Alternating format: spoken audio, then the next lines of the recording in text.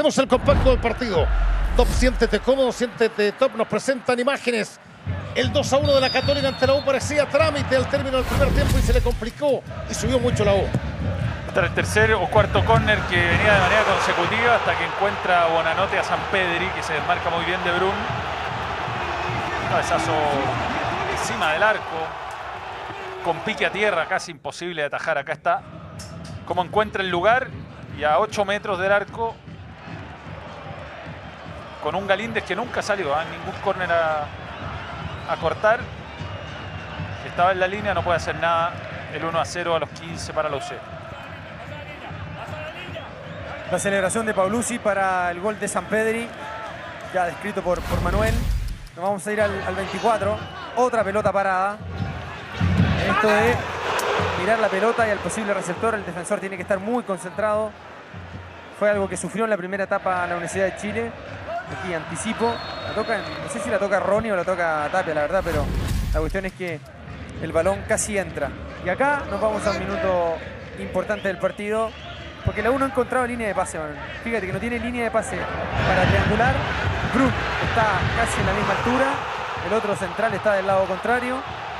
Pudo antes jugar para adelante y cuando ya gira, ahí mira. Ahí tuvo para adelante. Por último se pierde el balón ahí arriba.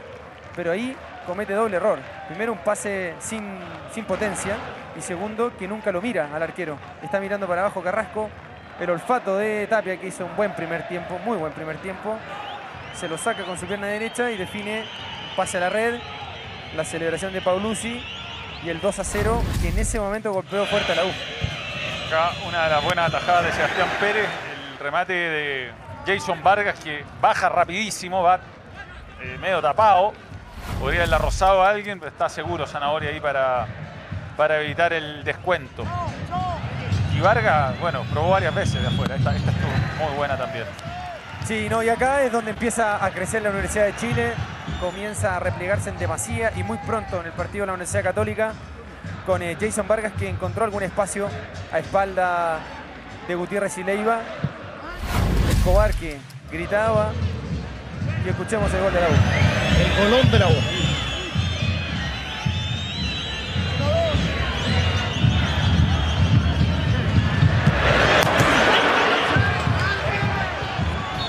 Remate que pega en el palo de, de Osorio. Con suspenso. Sí, Se había cobrado fuera de juego. el señor José Retamal, José, claro, tal cual. más no Molina. chequeo y se valida el gol, el muy buen gol de la Universidad de Chile. Osorio, intelectual y, autor real del gol, participa, colabora. La letra de la, de la canción, Ronnie Fernández, que está allí en la gestación. Esta es muy buena.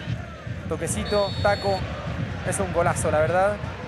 Gestación en espacios eh, reducidos y el finiquito de uno que está pidiendo cancha cada vez que ingresa en la U y a Osorio. Casi sin recorrido el, remate, ¿ah? muy, bien acompañada, muy bueno el gesto técnico. Asadi, Jason Vargas, llega demasiado exigido Israel Poblete, que pudo empatar el encuentro en esta.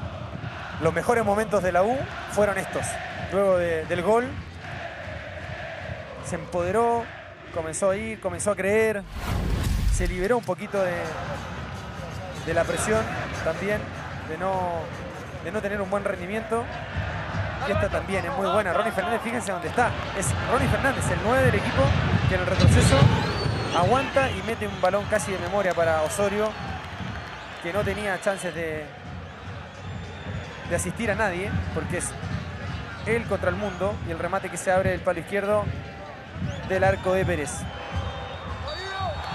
Y nada más ganó la Católica 2 a 1 a Universidad de Chile. Después de mucho tiempo de cuatro jornadas vuelve al triunfo el equipo de la franja. Nos vamos. O sea, yo por lo menos. Ustedes se van, que les vaya A bien. Ah, que les vaya bien. Eh, sigan en sintonía.